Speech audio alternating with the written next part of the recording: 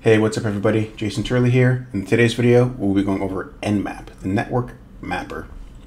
It's a tool to scan a IP address or a host or an entire network range if you want. And it can do a myriad of things. You can see what hosts are alive, you can see what, what ports and services they're running, you can scan for vulnerabilities, and so on and so forth. You can evade firewall detection. You can do some pretty crafty things with Nmap, but in today's video, we're just going to focus on the beginning, the basic stuff, if you've never run Nmap before.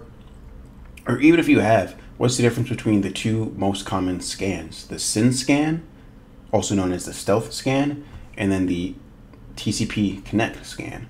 What are the true differences? When should you use one over the other?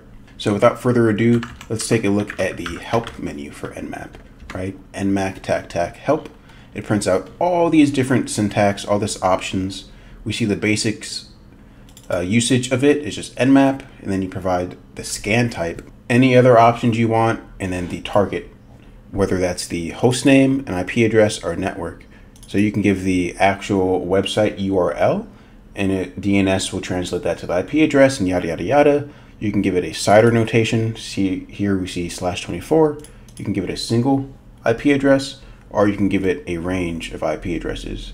Similar to that ping sweep that we did in the previous video, you can do from dot one all the way to dot 254, so just cover every host in that subnet. There's different host discovery techniques, but we're not going to worry about most of these today. We're going to get into that in a different video. Today we're just going to focus on these first two options under scan techniques, the big S and the big T, right? The way this is laid out is kind of weird. Each one of these separated separated by the slashes are different scan types. So we see there's the SYN scan, we see there's a connect scan, ACK window, and Maimon scans. There's also UDP and so on and so forth. You can provide a port range if you only wanted to scan a specific port. By default, Nmap will only scan some of the top common ports, so things like SSH on port 22, HTTP on 80, or HTTPS on 443, RDP on 3389, and so on and so forth. They give us some examples down here at the bottom. Nmap with the V for verbose, print more information to the screen for me. So we're going to use this first one. We're not going to do the TAC A just yet. So before we get started, let's go over the difference between the TCP scan and the stealth scan. If you just Google Nmap TCP scan, the first result that pops up should be from nmap.org, the official source. So click on that, and there's a good example, there's a good diagram that we're going to break down rather quickly. So the TCP Connect scan is a default port scan when SYN scan is not an option. It won't be an option unless we are the root user. Because if we're not root, then we don't have the raw uh, packet privileges, or if we don't run it with sudo.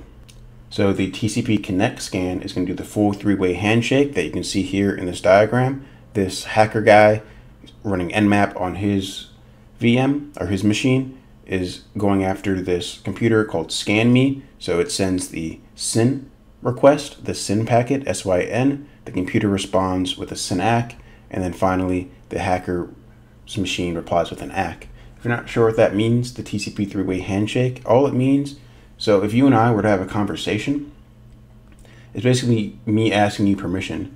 So I'm like, hey, can I tell you something? That's the SYN packet. You respond, sure, yeah, you can tell me something. And that's that, that's your SYN acknowledgement. You're acknowledging that I asked you, hey, can I start a conversation with you? And I acknowledge that you acknowledged me.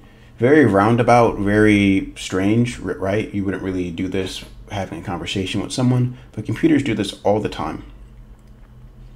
And that's how they kind of establish that trust, that connection, and then from then on, you can see like data is being sent back and forth. The scan me host sends the SSH banner string, and the target computer, typically it would just continue on and then it would send a uh, finish packet. I think it says that down here.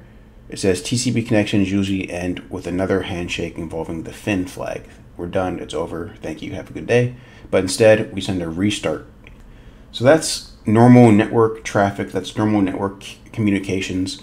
When I had to access this website, a TCP uh, connection likely happened, right? Through a handshake likely happened. So what's the problem if we do this with our Nmap scans? Well, A, it's more network traffic, right? Because if we just do a SYN scan, all we do is send the first SYN packet, we get the SYN acknowledgement back, if the port was open, and then we skip this. We skip the acknowledgement, and then we just send a restart. So with the connect scan, A, we're sending more traffic, we're sending more packets. If it's just a single host, okay, maybe it doesn't make a big difference. But if we're scanning entire network and a lot of ports, that's going to add up. It's going to be a lot slower. And since we're actually connecting to that service, just like I connected to this website, that's likely going to log. If we're just doing a basic pen test, maybe we don't care. Maybe we, want it to log because we want to test the security posture.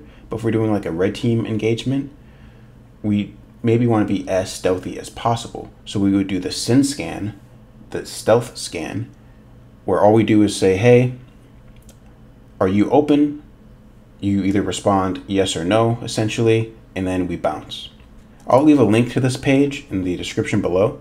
I'd recommend giving it a quick read, a quick browse through. If my explanation wasn't satisfactory, this has some really good uh, knowledge in here, right? So the SYN scan is preferable. It's not perfect. You're not going to go completely undetected ever, right?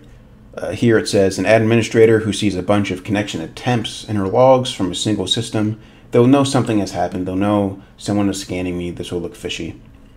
If we look at that nmap help one more time, we see this URL, this host called scanme.nmap.org. What is that? Let's navigate to that, scanme.nmap.org.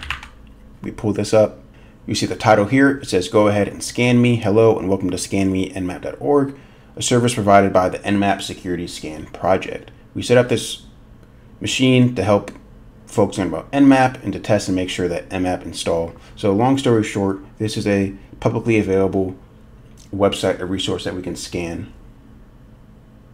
It says don't go hog wild, don't go crazy, only a few scans per day, please. Don't do more than 100 times a day. Don't crash the site, don't DDoS it. But just for use cases and examples like this, it's perfectly fine to use Nmap against it. Now, I'm not just going to do an Nmap scan. Um, I'm also going to pull up Wireshark. Let me open a new pane, Wireshark. That'll pop it up in a new window.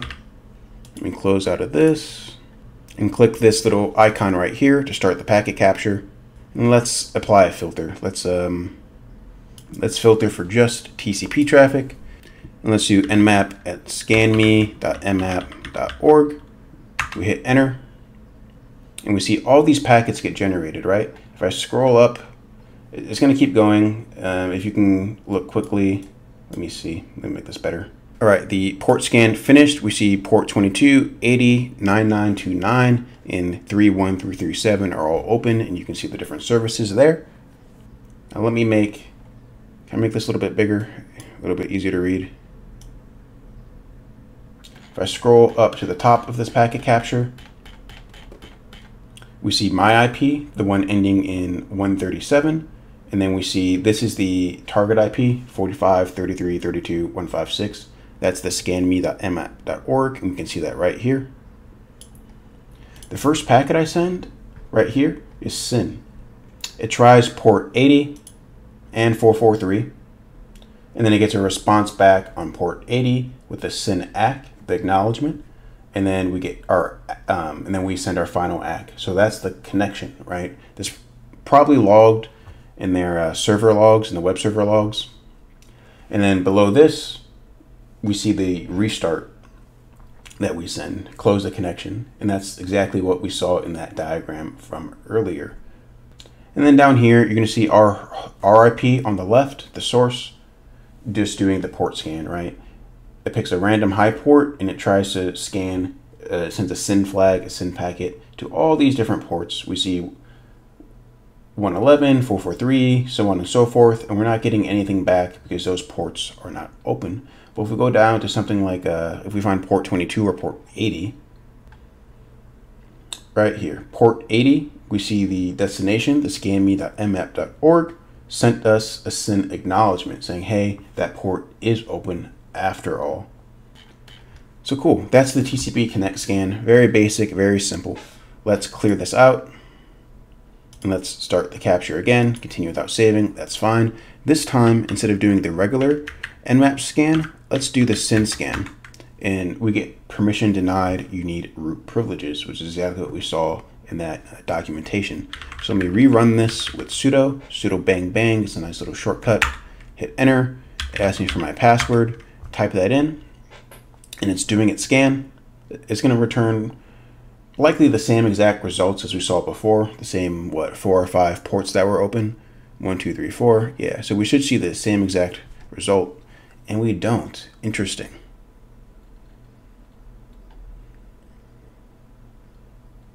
I'm curious as why that is. However, if we look at the pack, the top of our packet capture, it's a little bit different. We see the SYN flag that we send. Again, they respond with an acknowledgement.